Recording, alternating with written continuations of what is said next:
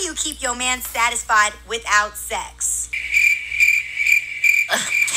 Ladies, if you went silent after this question was being asked, you need to stay away from men. And I'm going to tell you why. You need to stay away from men, heal from your trauma, sit there, learn about a man, get to know what a man is, what a man wants, how to satisfy a man, learn to love a man properly without sex, and then go ahead and try to date a man.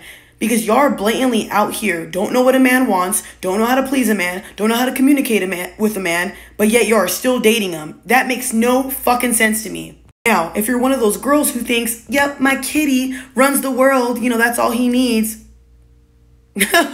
Crickets, bitch, because you sound stupid.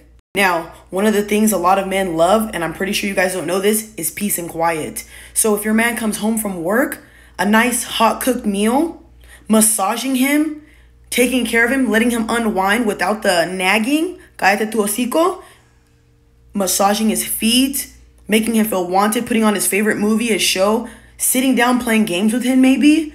I don't know, maybe reading his favorite book with him, doing things he likes to do. You ever sit there and ask a man, hey, honey, what's your dream date?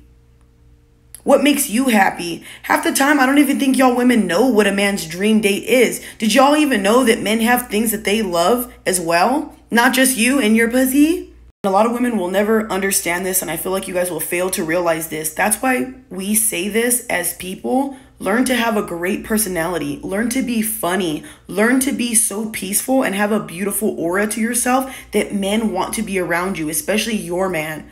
Because when you really think about it, if you care about your outer appearance and think that pussy and all that stuff is gonna keep a man, you're fucking far from like wrong, you guys. Like, you're wrong. That's not gonna keep a man because when all this stuff goes away, how are you gonna keep him? How will you entertain him? Will you have good company? Will you be peace? Will you be cooperative? Are you easy to talk to? Are you understanding? Are you compassionate? Are you a sweetheart at like heart? Do you have a big heart? Are you genuine? Can he lean his head on you? Can he tell you things without you throwing that shit in his fucking face? Can he confide in you? Can he trust you? There's a whole bunch of other ways to satisfy a man. And guess what? Men are so simple. Yet you guys still act like it's pulling teeth to understand a man.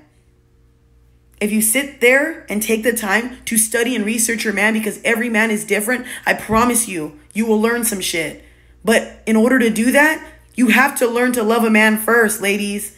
This shit right here, oh, I don't understand how a lot of women have big platforms when they're not even as educated as a lot of women who don't have big platforms. But hey, go ahead and follow these type of women because they are leading you guys right into fucking destruction.